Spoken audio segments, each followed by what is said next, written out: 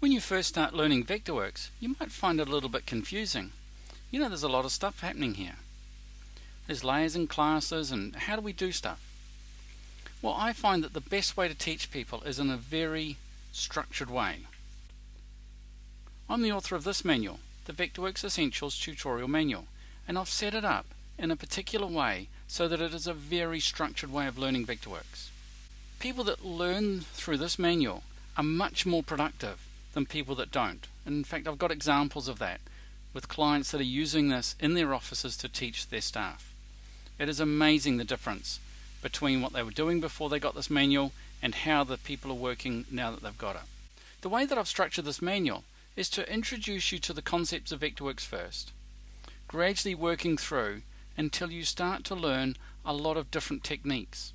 These techniques might seem really easy, they might seem unimportant, but in fact they are really important and I cover them right at the beginning so that there's no question that you know how to do things in Vectorworks.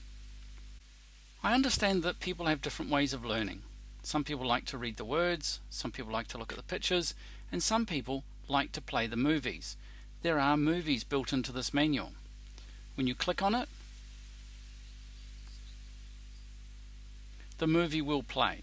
I've just paused the movie, that's the pause button down the bottom here, that's my play button. That's the pause button.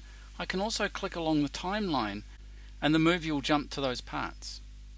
I can close the movie by clicking on this tiny little X here. It'll make the movie go away. And I can use these movies again and again. There's no limit to the number of times you can play that movie. You can make the movie go back over stuff that you don't understand. If you'd like to get a copy of the Essential Tutorial Manual, go to Support and look for training guides. You should find all of my training guides here along with the other authors. The one that I've been talking about is this one, the Essentials Tutorial Manual. Click on the Buy button to buy it, or if you want to learn more, click on Learn More. When you click on the Buy button, it takes you through to the store where you can buy the manual. Good luck with my manual. I really recommend it, and so do lots of my users.